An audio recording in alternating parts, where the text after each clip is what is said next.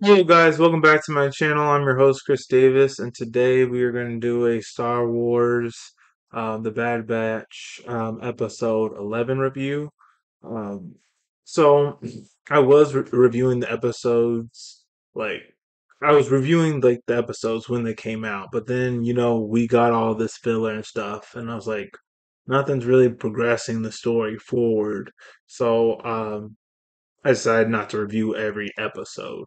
Um, but this was a good one, episode 11. Um, this is this episode is pushing the story forward. This is a good episode, and if you haven't seen it yet, I highly recommend you watch it. This one isn't filler. This one is moving the story forward. So, in this episode, it starts off with um, some spaceship um, tr- um, traveling through space and it's damaged and everything. And there's a beast on there and it's taking out all the clone slash stormtroopers on the ship. And then the ship crash lands on some unknown planet and then we go to this um, Empire base, and uh, this new chief medical doctor um, is in charge of cloning assets. I think they're trying to tie in, you know, the, new sequels with Rey and Snoke into this about how that all happened. And kind of foreshadowed that at the end of the first season of The Bad Batch. Uh, but it looks here, looks like here they're kind of continuing to push that narrative forward, and we see a like, like I said, new a medical doctor there, and when we see him, he goes and sees uh, Nala Se. So if you don't know who that is, Nala Se was the chief medical doctor of of Kaminoa. She's the one who engineered the clones with um, Jango Fett's DNA and everything. And the chief medical doctor, um, he's telling Nala Se to help for her to help him with his cloning research. But Nala Se does not want to help the Empire at all because the Empire, if you saw at the end of season one of the Bad Batch, the Empire did an orbital bombing of Kaminoa and they wiped out like her civilization. Now, you have to really see things from like Nala Se's perspective. She uh, helped make the clone army. She helped put in the um inhibitor chips that caused the, the clones to turn against the Jedi and wipe the Jedi out. She was secretly affiliated with the Sith. And then the Sith like turn around and betray her and the rest of her people. So like why would she even help them even more? Like who cares? And he threatens to her that and he says, Hey, I'm the new guy here, I'm in charge, I can work I can do worse to you than confine you to a cell. That's his words exactly. But with Nala Se, she's like, Who cares? Like you wiped out my civilization. I mean, like what possibly more could you like do to me?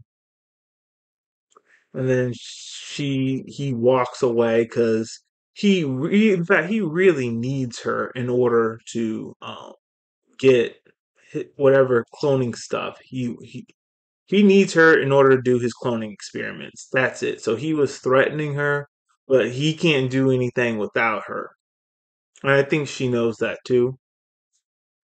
Then we finally transition to uh, the Bad Batch, Omega, and the rest of the clones. They're finally confronting Cid about what happened in episode 10. Yeah, episode 9, when she deserted them, when she said that they're on their own. And they finally confront her about it. And she's trying to give them a runaround. She's trying to uh, like change the subject and everything, but they're not having any of it. So she has like another job for her. She has another job for them. And she basically tells them, don't come back unless like you you have something. And Hunter replies back, What makes you think we're coming back to you at all?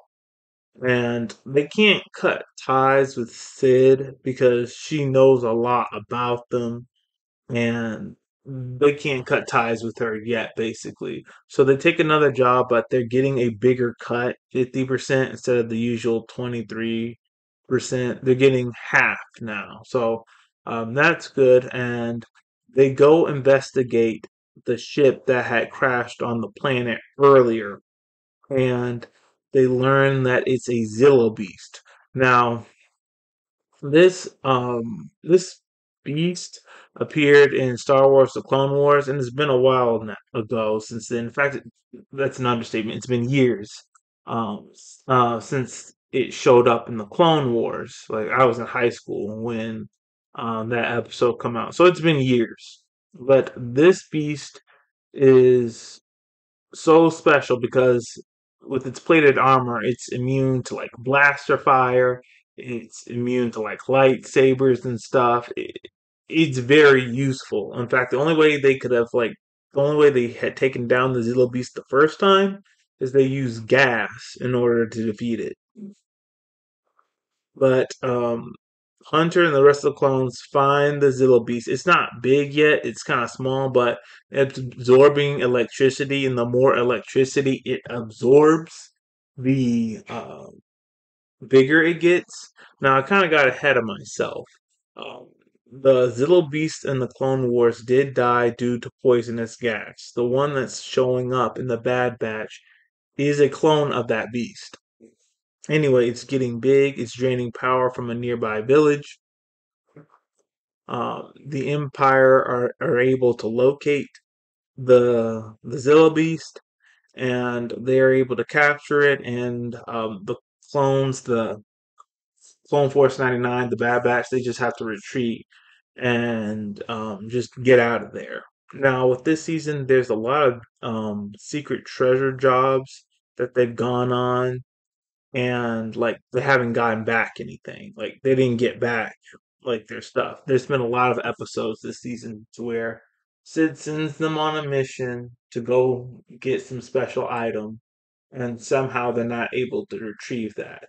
They that was the case with um, Count Dooku's palace. Um, that treasure hunt they went with Cid's friend. Probably one other episode where they weren't able to bring back anything valuable um, due to complications. That's just the thing that I've been noticing when they go on these missions and stuff.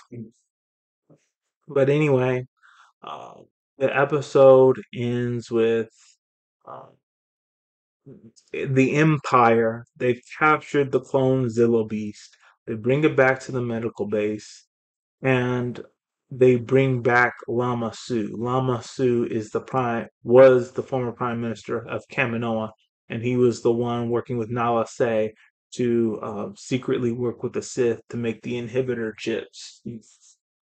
They bring the em- the medical guy, the chief medical guy for the Empire, our chief cloning medical guy, brings Lama Su to his base. He wants to know how he can force force Nala Se to work on his cloning projects. And Lama Su isn't just going to give him that for nothing. He says that he wants his freedom. And then the guy gives in, okay, fine. Well, let's discuss, but what is it? How can I make her, if I make Nala Se more cooperative? He says, okay. So if you capture basically Omega, that's what you can use as leverage to get what you want out of her. And then they walk off to discuss, and that's how the episode ends. So, great episode. It moves the plot forward. Um, looks like going forward, the Empire is going to be looking for Omega, and are they to capture her? Uh, what's to happen? I really don't know. I'm most likely, I think that somehow the Empire are to capture her, and they're to force Nala Se um, to do the cloning um, experiments in order to in order to ensure Omega's safety. I think that's probably where it's going, uh, but we'll see. So that's all we have for today. If you liked what I had to share, please hit the like button, hit subscribe, share this video with all your friends, and all of you have a great day.